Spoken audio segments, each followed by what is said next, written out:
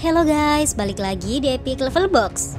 Film-film Indonesia terbaru masih akan terus meramaikan layar bioskop di bulan Maret ini loh. Meskipun masih didominasi horor, tapi genre drama dan juga action tetap bisa menjadi pilihan lain untuk kalian. Nah, buat kalian yang berencana menghabiskan waktu dengan menonton film akhir pekan ini, Khusus di video kali ini, Epic Level Box sudah merangkum 7 film Indonesia terbaru yang tayang Maret tahun 2023 ini. Apa saja ketujuh film terbaru itu? Berikut daftarnya untuk kalian. 1. Perjanjian Gaib Innaka Innaka laminal mursalin Menjadi film Indonesia pembuka di video ini Mengusung genre horor Film ini berkisah tentang sepasang suami istri yang sedang terhimpit masalah ekonomi yang bernama Andri dan Wati. Beruntung di saat keadaan sudah sangat mendesak, sepasang suami istri ini mendapat pekerjaan untuk merawat seorang nenek tua yang kaya raya. Tapi baru beberapa hari merawat sang nenek, mereka justru menemukan sang nenek tewas dalam kondisi yang sangat tragis. Meskipun panik, mereka kemudian berpikir cara menguras seluruh harta simpanan sang nenek. Mereka kemudian tetap membuat sang nenek seolah-olah masih hidup dengan memasukkan formalin ke tubuh nenek dan juga mengajaknya jalan-jalan dengan kursi roda. Tapi anehnya, sang nenek yang sebelumnya sudah disebut mati ternyata hidup kembali yang membuat Andri dan Wati sangat ketakutan. Disebut memiliki perjanjian gaib dengan sosok iblis. Buat kalian yang penasaran, film ini tayang 9 Maret tahun 2023 ini. 2. Kembang Api Mengangkat tema tentang kesehatan mental. Film ini adalah remake dari sebuah film Jepang yang pernah tayang di tahun 2017. Berkisah tentang empat manusia yang sudah putus asa dengan kehidupan masing-masing dan berniat untuk mengakhiri hidup mereka.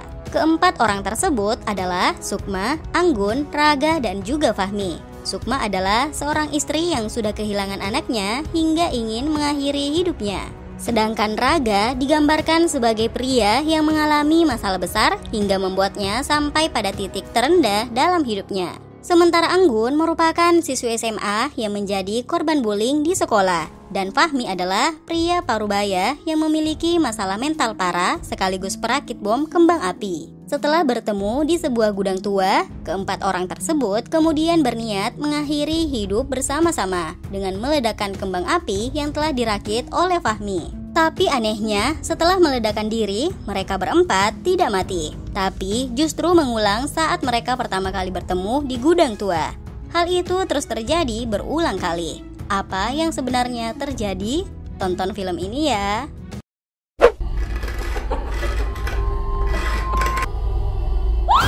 Tiga, Iblis dalam darah menjadi film horor terbaru yang juga tayang Maret tahun 2023 ini. Film ini berkisah tentang seorang wanita bernama Haruni yang berkali-kali kerasukan iblis tanpa dia tahu apa penyebabnya. Haruni merasa sangat terganggu, yang karena hal ini ia pun diikat agar saat kerasukan tak melakukan hal-hal yang berbahaya. Adik Haruni, yaitu Hanum, yang mengalami penyakit mata, akhirnya bercerita pada dokter Ahmad yang ternyata juga dapat mengobati hal-hal yang berbau mistis. Dokter Ahmad kemudian melakukan pengobatan pada Haruni di saat malam pengajian. Namun tubuh Haruni justru kejang hebat dan berhasil melepaskan semua ikatan di tubuhnya terinspirasi dari hadis riwayat Imam Bukhari yang menjelaskan mengenai iblis yang merasuki manusia melalui aliran darah. Penampakan sosok iblis akan terasa mencekam di film ini. 4.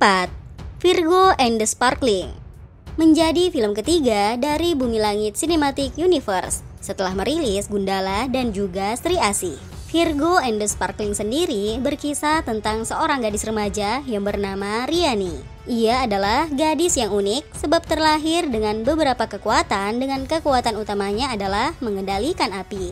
Namun kekuatan yang dimilikinya itu justru membuat Riani kewalahan.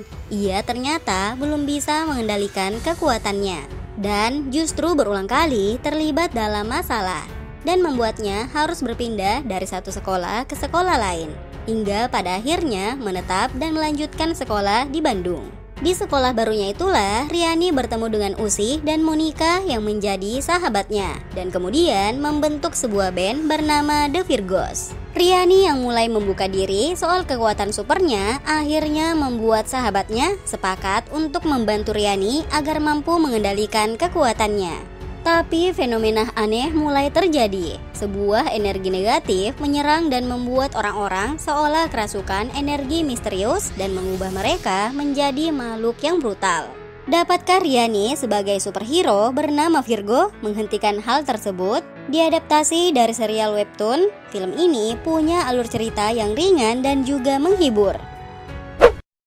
5. Lost Man Melati Mengusung genre horor, tayang 16 Maret tahun 2023 ini. Film ini berkisah tentang sebuah penginapan terpencil yang dikelola oleh wanita misterius yang bernama Melati. Film ini sendiri akan dibuka dengan para pelancong yang tengah mencari penginapan. Mereka kemudian menemukan Losman Melati dan menjadi tamu di sana. Hingga suatu hari saat mereka menyadari jika mereka ternyata tidak akan pernah keluar lagi. Melati sebagai pemilik losmen memiliki rencana tersembunyi untuk para tamu yang datang ke penginapannya. Misteri apa yang sebenarnya ingin ditunjukkan oleh film ini? Berbagai macam bentuk kengerian akan tersaji di dalam film ini. Buat kalian yang penasaran, langsung tonton film ini ya.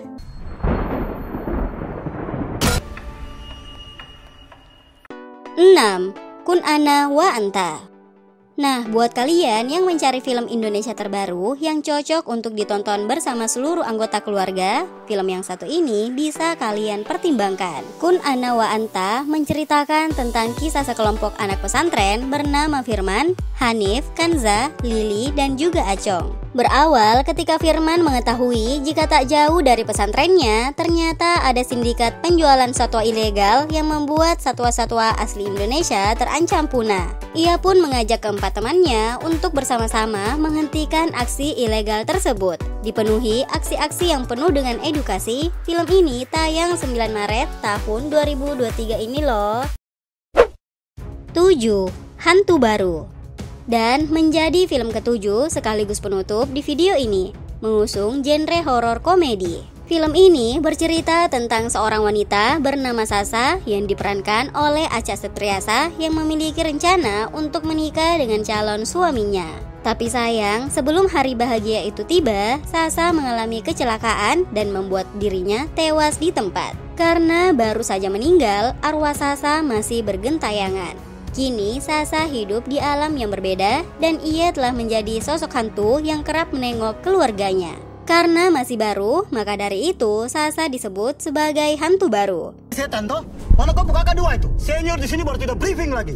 Tapi Sasa dan teman-teman hantunya yang tinggal di sebuah rumah yang sudah lama tidak dihuni mulai terganggu ketika rumah tersebut direncanakan akan dibeli oleh seseorang dan menyewa pengusir hantu profesional. Bagaimana kisahnya? Aksi-aksi konyol dari sosok hantu akan cukup menghibur di film ini. Itulah ketujuh film Indonesia terbaru yang tayang Maret tahun 2023 ini. Menurut kalian, mana nih yang wajib buat ditonton? Tuliskan di komentar ya. Well, terima kasih sudah menonton video ini. See you guys. Bye.